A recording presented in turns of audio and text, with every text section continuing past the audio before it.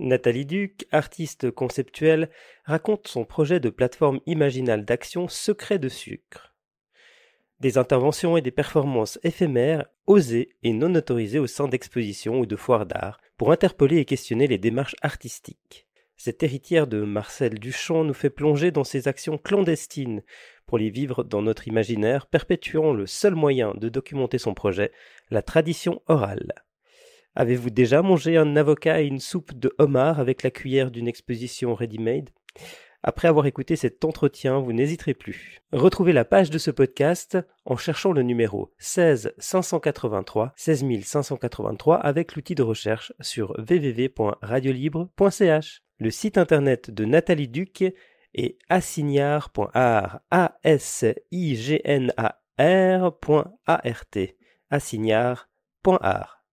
Vous écoutez Radio Libre. Bonjour Nathalie Duc. Bonjour Charlie. Deuxième passage euh, sur Radio Libre. Vous êtes venu nous, nous expliquer plus en détail euh, une de vos créations, une de vos inventions. Secret de sucre. Que fait Secret de sucre? Je sais qu'on en avait parlé euh, brièvement la dernière fois. Vous aviez pas eu le temps non plus d'expliquer très en détail euh, peut-être des exemples d'intervention et aujourd'hui vous êtes euh, venu le faire, mais avant vous souhaitiez poser le cadre. Secret de sucre est un projet euh, qui a été inauguré en 2009 et qui a été repris en 2022 suite à plusieurs années de pause.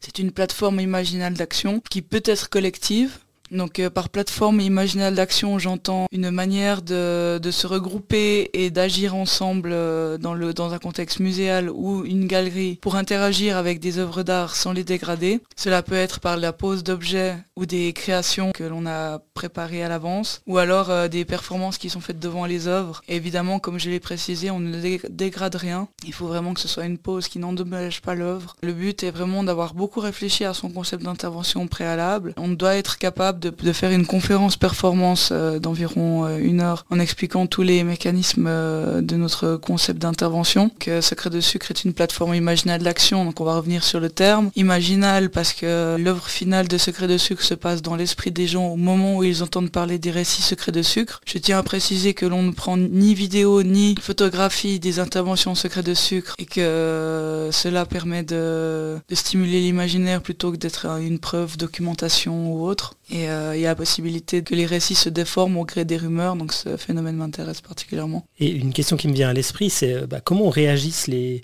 les gens qui sont sur place, soit les visiteurs de l'endroit où ça se passe, ou peut-être les, gens qui gèrent l'endroit Est-ce que vous avez déjà eu des retours? Parce que c'est très mystérieux, hein, il faut être au bon endroit au bon moment pour, euh, en voir une. Euh, comment ça se passe en fait? Est-ce qu'il y a eu des, interactions? Alors c'est pour ça que des fois j'ai besoin de complices. Euh, il faut détourner l'attention du galeriste ou, agir sans, sans, être sous son, sous son regard, parce qu'il ne faut aucune preuve. Même s'il y a une caméra de surveillance au coin de la pièce, on s'en fout, il faut euh, agir incognito. Et vis-à-vis des gens euh, qui, sont présents dans la pièce, des fois il n'y en a pas, mais quand il y en a, ils sont surpris, mais euh, on ne reste pas. Il faut dégager immédiatement parce que il ne faut pas faire le beau et dire je suis un artiste, regardez ma performance, il faut directement partir. Et en préparant cette émission, on a, on a parlé de, bah, de ce cadre, dans quel euh, dans le cadre de matrice, hein, euh, une matrice de, oui, de concepts artistiques. Est-ce que vous pouvez peut-être euh, expliquer comment ça s'articule? Alors, comme je suis une artiste conceptuelle, j'ai tout un ensemble de concepts avec lesquels je travaille qui, qui résonnent dans un système assez approfondi et, complexe à découvrir. Il faut passer beaucoup de temps avec moi pour comprendre un peu tous les, les noyaux de ma démarche et elle, euh, elle passe énormément par, euh, la voix, par la narration, euh, l'explication. Et donc parmi mes outils, il y a les matrices. Donc les matrices, il faut imaginer une sorte de nœud, un complexe problématique lié à, mon être, mais tout le monde a des matrices. Moi, je l'ai spécifiquement appelé comme ça pour clarifier mon propos. Une matrice, c'est un ensemble de sujets duquel on peut faire sortir des textes, des fictions, des œuvres d'art, euh, des poèmes, n'importe quoi. C'est un, noyau substantiel duquel faire sortir des choses. Et par exemple, j'ai fait sortir beaucoup d'œuvres de, ma matrice euh, que je nommerais de surveillance, vu que j'ai beaucoup travaillé et étudié ce sujet-là. Mais Secret de sucre est une autre matrice qu'il s'agit aujourd'hui d'exposer. Cette matrice, elle est à distinguer de la matrice surveillance dans le sens où c'est une plateforme. C'est une plateforme imaginale d'action. Elle vise à faire des actions collectivement ou pas, et elle vise à être immatérielle, à laisser le moins de traces possible, à agir dans l'imaginaire, d'où le terme imaginal, à susciter des images mentales c'est là que se trouve l'œuvre Secret de sucre finale. C'est dans le mental de la personne qui va entendre l'histoire Secret de sucre. Donc c'est tout un travail de tradition orale à quelque part. Il y a des actions, il y a des objets, mais ils passent dans l'oubli. Les galeristes les mettent dans les poubelles. Euh, après avoir peut-être pris une photographie, c'est arrivé avec une intervention à Berne où euh, j'ai entendu dire que la galeriste avait pris en photo et jeté euh, le matériel. Mais moi ça ne me regarde pas vu que moi-même je ne prends pas de photographie ni de vidéo de Secret de sucre, je précise, parce que pour les offres c'est différent. Et maintenant, est-ce que vous pouvez peut-être nous, raconter quelques aventures sucrées, douces, dans les musées, dans les galeries Alors je vais vous raconter la dernière et la première. J'ai commencé par la dernière. Donc la dernière était à Argenève en 2023. C'est un salon d'art euh, assez gigantesque, on va dire, euh, pour Genève, euh, relativement international. Donc je me suis présentée avec Mehdi Bouanek, qui est un artiste designer qui habite à Genève, à ce salon, avec des sucres peints en rose fluo. Nous en avions beaucoup avec nous. Et le but de l'intervention était de juger les galeristes sur leurs prestations de visite guidée euh, de leur petit espace. Donc nous avons déambulé dans ce salon, choisissant nos galeries, de par souvent l'intérêt pour le travail artistique. Évidemment, si nous n'aimions pas, euh, nous n'allions pas spécifiquement euh, nous arrêter. Et donc euh, nous nous sommes arrêtés à huit galeries, leur demandant de faire une visite guidée. Et on leur a remis un à huit sucres en fonction de, leur, la qualité de leurs prestations. Donc c'est l'artiste qui juge le galeriste. C'est quelque chose d'assez novateur et de très peu couru dans, dans le monde de l'art, parce qu'en général c'est plutôt d'autres personnes qui jugent les artistes et les artistes, eux, ne sont pas des juges. Ils ne peuvent pas juger euh, ce qui se passe au-dessus d'eux dans le, monde de l'art. Donc là, c'était assez affrontant et osé. Et donc, euh, nous avons remis euh, plusieurs sucres à plusieurs galeries, euh, donc, euh, dont un magnet signataire qui est, qui est un objet euh, de signature, mais je ne veux pas particulièrement parler de la question de la signature, mais disons qu'il y a un objet qui signe toujours l'intervention et qui est un magnet signataire. Nous l'avons remis à une galerie de Milan. Ça s'est extrêmement bien passé. Des fois, nos critiques ont été mal reçues, des fois, nos compliments sont bien passés ou ont suscité de nouvelles questions. On a, on a vraiment fait de la, de la critique de galeriste. C'était assez amusant à produire, mais surtout, on a pu voir qu'il y a des galeristes qui arrivent à annoncer la date, le contexte, le, concept, l'histoire de l'artiste, la pâte, l'esthétique et tout ça, et qui va prendre une demi-heure euh, pour nous présenter toute sa galerie, alors qu'il y a celle, euh, il y a une autre dame qui va par exemple dire j'ai pas le temps de tout vous exposer euh, parce que je dois vendre. évidemment, on n'a pas l'air de quelqu'un qui va acheter des œuvres, alors elle veut pas prendre de temps avec nous. Alors évidemment, ce type de galeriste, on va lui mettre beaucoup moins de sucre et on va lui expliquer pourquoi à chaque fois. Donc euh, souvent ils sont pris des claques, euh, ceux qui ont eu des mauvaises notes. Je m'excuse auprès de, de, la force de cette action parce qu'ils n'avaient peut-être rien demandé à part vouloir vendre des œuvres. Mais euh, en tout cas on a on a essayé de les juger le plus, adéquatement possible. On se consultait avant de donner la note finale. C'est moi qui donnais les sucres et j'expliquais un peu le projet secret de sucre en deux lignes euh, aux galeristes. Donc ça, c'était assez euh, intéressant à vivre comme expérience et beaucoup moins d'adrénaline que les autres fois parce que là, on a donné les sucres en main propre. Donc ce n'était pas un processus caché, planqué. Euh, où on devait détourner l'attention de, la personne responsable. Donc c'était beaucoup plus tranquille et moins fort en adrénaline que les autres interventions. Sinon, il y a une intervention, la première, l'inaugurale euh, en 2009, qui s'appelle euh, Post Tenebras Lux. Donc c'était une exposition qui portait ce même nom, Post Tenebras Lux avec un E, et ça parlait du luxe. C'était une excellente exposition que j'ai beaucoup appréciée. Et donc je l'ai visité. Et je me suis arrêtée devant une œuvre de Hervé Grumman, qui est un artiste genevois qui enseigne sauf à la aide, qui était un pattern d'objets posés sur le sol, donc toujours un carré d'objets, toujours les mêmes objets posés sur le sol, des objets de vernissage, des coupes de champagne ou je ne sais plus, mais en tout cas des objets industriels, une série de, de posés en installation, toujours les mêmes, en pattern et parmi ces objets il y avait des cuillères. Donc à l'époque je m'intéressais à la question du ready-made euh, et je me suis beaucoup intéressée à Marcel Duchamp dont je me sens héritière euh, profondément dans la pensée. Et donc Marcel Duchamp a inventé ce qui s'appelle le ready-made. C'est un objet euh, dont on enlève la fonction pour la rendre, lui rendre une nouvelle fonction qui est celle d'œuvre d'art. Donc on peut plus l'utiliser, c'est pourquoi il est fait. Et il est désigné par un artiste comme étant une œuvre d'art et validé par une institution comme l'étant également. Ces objets-là qui composaient l'installation de Hervé Groman étaient sortant, diront, directement du ready-made. Alors ça jouait bien avec euh, ma réflexion, donc euh, je me suis arrêtée devant cette œuvre. J'ai fait attention qu'il n'y ait pas de gardien dans la pièce et j'ai pris une cuillère parmi les objets qui étaient disposés. Et je suis sortie du musée. Je me suis rendue devant le Palace Wilson qui est une icône du luxe à Genève. J'ai pris un avocat, un aliment très riche et une soupe de homard qui est aussi une icône du luxe. J'ai versé la soupe de homard dans l'avocat et j'ai mangé avec l'œuvre d'art. Et donc cette cuillère n'était plus une œuvre d'art parce qu'elle n'était plus validée par l'institution symboliquement. Il n'y avait pas l'artiste pour la désigner. Je lui avais rendu sa fonction initiale et il n'y avait pas de signature. Donc cette œuvre d'art était devenue un objet utilitaire qui servait à manger. Alors euh, je l'ai gardé deux ans à l'école de cantonal d'art du Valais euh, qui est devenue l'EDA à Sierre. Je devais faire mes jurys donc j'ai invité à une conférence performance euh, la commissaire d'exposition euh, à venir à ma conférence performance sur cette exposition, sur cette intervention post-Tenebras Lux, sans lui donner trop de détails sur ce que j'avais fait, mais lui expliquant un peu le projet. Elle a décidé de venir. Donc euh, pour mes conférences performance, il y a toujours un dispositif et un mécanisme d'intervention avec le public. Donc là, il y avait une zone avec un micro pour les gens qui avaient le droit de parler, zone sans micro pour les gens qui n'avaient pas le droit de parler. Et j'avais véhiculé la rumeur comme quoi, pour pouvoir parler dans ma conférence, il fallait pouvoir manger un peu de sucre avec une cuillère. Donc euh, mystère, mystère, où trouver des sucres et des cuillères, et eh bien il y en avait. Il y avait une table de vernissage avec des gobelets de sucre et euh, une, euh, une, reprise entre guillemets de l'œuvre de Hervé Groman qui était des, petits carrés rose fluo à peu près de la même grandeur, disposés en pattern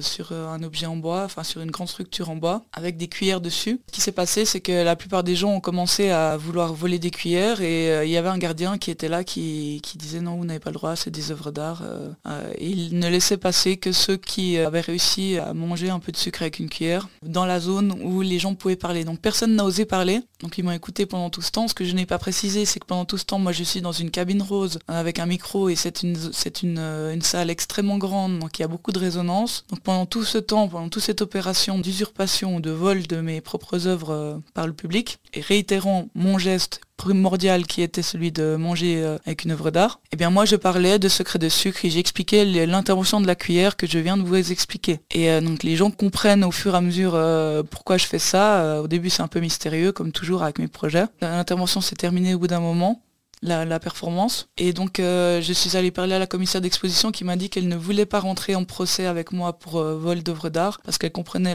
le concept et elle le trouvait pertinent. Donc j'ai toujours la, cuillère et je tiens juste à préciser que dans ma dernière expo à la galerie de la cathédrale euh, à Fribourg, il y avait une cuillère à vendre.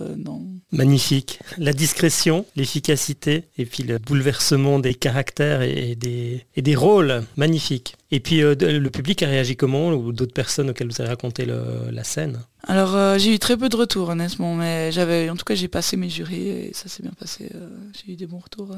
En tout cas mon projet il, a, il était très apprécié dans cette école parce qu'il était. J'ai essayé de faire un projet immatériel, euh, uniquement conceptuel, et ça c'était très peu fréquent, donc j'ai été au départ incomprise et après très largement soutenue pour mon projet secret de sucre dans cette école. Magnifique. Et comment est-ce qu'on peut, on peut procéder pour mieux connaître ce projet? Il faut prendre rendez-vous avec moi parce qu'il y a plein de choses à raconter. Euh, c'est un projet qui fonctionne sur la tradition orale. Il y a évidemment l'explication euh, synthétique de mon projet sur mon site internet. Et donc tout un chacun pourrait se lancer dans un secret de sucre? Alors, euh, non, je dirais pas que c'est ouvert comme ça. Il y avait plutôt Chlorure de sodium qui fonctionnait comme ça, qui a une autre plateforme imaginale d'action euh, dont on pourrait éventuellement parler. Mais euh, non, alors dans Secret de sucre, c'est quand même moi qui tiens le projet. C'est un projet quand même hiérarchisé parce que c'est quand même moi qui prends les décisions finales. Alors que dedans Chlorure de sodium, c'était complètement déhiérarchisé et laissé libre euh, à tout à chacun de, prendre les décisions et d'y entrer. Et à la base, il y avait l'idée de faire de l'argent avec Secret de sucre J'avais plusieurs idées là-dedans, mais je ne vais pas les révéler. Et que l'argent de Secret de Sucre venait aux gens de chlorure de sodium sous forme d'aide au loyer. Donc il y avait une idée de, faire de l'argent avec euh, en utilisant le marché de l'art avec Secret de Sucre pour contrebalancer ça sous forme d'aide au loyer à d'autres personnes qui, euh, qui en ont probablement besoin. C'est plutôt pour euh, que ces personnes puissent avoir un logement un peu plus grand et avec peut-être un atelier ou un, bureau pour faire ces activités créatrices. Ah, donc c'est destiné aux artistes non, il y avait dans le chlorure de sodium, il y avait euh, des, professeurs d'université par exemple en philosophie, mais il y avait aussi des, ouvriers, des jongleurs, euh, il y avait des concepteurs multimédia, il y avait euh, des psychanalystes, des journalistes d'investigation, des, activistes, toutes sortes de personnes, et de tout âge confondu, tout parti politique confondu. Donc il y avait autant des gens de droite qu'à gauche, et on arrivait à s'entendre sur des sujets sociétaux. Donc en fait c'était des réunions qui avaient lieu à Lausanne, Genève, Fribourg et Sion, à peu près une fois par mois pendant plusieurs années. Et on discutait en petit comité, euh, donc les membres de chlorure de sodium, on discutait de sujets, de, problématiques sociétales dont on voulait faire des interventions dans l'espace public sous forme de renouvellement de la pratique manifestante et pas avec des panneaux ou des pancartes euh, pour euh, être contre une loi ou quelque chose comme ça, mais plutôt par la, pratique de la performance dans l'espace public dispatché dans une ville à faire plusieurs performances sur un même sujet politique pour, euh, pour avertir la population de danger ou bien pour euh, en discuter, discuter de, de, controverses. Et là, c'était documenté, donc il y, a quelques exemples? Non, c'est aussi immatériel, donc euh, il ne reste que des souvenirs pour les gens qui ont participé, donc il n'y a aucune trace. C'est aussi un projet immatériel. Et j'ai vraiment cherché à faire des projets immatériels au début de ma, de ma carrière artistique. Donc on devra effacer cette bande à la fin de l'entretien, c'est ça? Non, mais j'ai un peu changé d'avis euh, parce que l'audio me convient comme, euh, comme moyen d'expression de, ce projet. Ça reste dans la tradition orale. Et là, vous êtes en train de me poser des questions sur ce travail. Euh, je ne fais que perpétuer la tradition orale de ces projets. il y aura aussi sur mon site des, des, fichiers audio qui raconteront les différentes interventions. Je suis en train de procéder à leur exécution actuellement il y aura quand même possibilité de mieux comprendre Secret de Sucre en allant sur mon site, mais le mieux, si vous voulez, pour répondre à votre question encore une fois, si vous voulez bien comprendre le projet et persévérer à, en comprendre les rouages, il faut prendre rendez-vous avec moi et, passer quelques heures à, discuter d'art et, de critique d'art et d'artistes et, de galeristes, de curateurs.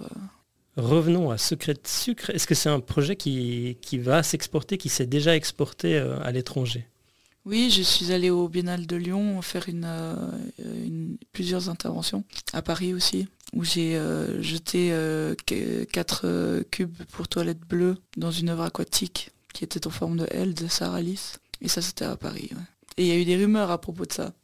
Et pourquoi des, cubes de toilettes? Eh bien, j'ai essayé de transformer cette œuvre qui était aquatique en lui donnant euh, une tonalité grinçante parce que un cube de toilette parce que je n'avais personnellement pas beaucoup d'estime pour ce travail. Et c'était une intervention critique euh, qui servait euh, à montrer le type de niveau de cette œuvre. Et donc là, c'était avec le petit plastique qu'on accroche au bord? Non, non, non, c'était des cubes, vraiment des cubes en savon bleu pour les toilettes pour nettoyer les toilettes et euh, j'en ai placé quatre et l'eau est devenue toute bleue et je suis partie à ce moment-là. J'ai dû me cacher dans un hôtel pour pas qu'on me trouve. Quelqu'un a essayé de vous poursuivre? Je ne sais pas, mais il y a eu un grand cri à un moment, donc j'ai parti. Euh. D'accord. Et que représentait cette œuvre aquatique? À quoi ressemblait-elle? Un L, un L, euh, la lettre, la lettre L. Et un aquarium en forme de L? Non, c'était pas un aquarium, c'était c'était très très mince, le long de deux murs qui se rencontrent dans une galerie et ça suivait le mur et il y avait de l'eau dedans. Et c'était quelle couleur euh, Blanc, transparent. D'accord, donc il y avait un petit bord de, en, vert qui faisait le tour. C'était pas du vert, c'était blanc. Peut-être euh, comme une salle de bain, euh, comme une baignoire. Et donc là, tout d'un coup, c'est devenu bleu. C'est devenu bleu. Et le cri. Mais par contre, j'avais raconté cette intervention à Fribourg il y a de nombreuses années. Et il m'est revenu des retours de rumeurs comme quoi j'avais peint toute la galerie en bleu, alors que non, j'avais juste mis quatre cubes pour toilette bleue à, l'intérieur. Donc il y a des déformations euh, dues euh, à la tradition orale, encore une fois. Magnifique. Merci Charlie. Je dis pas bravo, sinon je serais complice. Et d'ailleurs, euh, l'aspect juridique est aussi compris dans le projet si je dois avoir des procès secrets de sucre pour des interventions. C'est un appareil modulaire euh, d'action qui est prévu dans, cette plateforme et qui pourrait servir à faire parler de l'art, euh, des questions de l'histoire de l'art dans le cadre d'un procès, comme l'ont fait d'autres artistes par le passé, mais cette fois avec un grand discours. Donc c'est prévu. Le, le signature magnet dont tu as... Magnet signateur. Le magnet signature, qu'est-ce que c'est? C'est un objet signature qui euh, signe euh, l'intervention et il a déposé ou à remettre à quelqu'un. Mais donc ça, ça ressemble à quelque chose ou c'est comment Euh, vous- il, faut, il faut que vous en receviez un pour le savoir. Ah, On est très curieux, on a envie d'en recevoir un. Bah, il faut... Il y en a plusieurs, ils ont plusieurs formes, plusieurs couleurs. Chaque fois différent. Chaque Chaque, fois différent. chaque fois différent. Comment vous les choisissez Avec mon système artistique, comme ça je vais pas vous en dire plus. Ça, ça, c'est secret de sucre, ça. Ah oui, il y a le mot secret, j'avais oublié. Voilà. Et le sucre, il est bio Euh, Raffiné. Il est raffiné. Très bien. On en reste là Est-ce qu'on se dit à bientôt pour un, un- un troisième, un triptyque peut-être? Oui, volontiers, les triptyques, c'est toujours intéressant. Donc, euh, merci Charlie. Et à bientôt. Au revoir.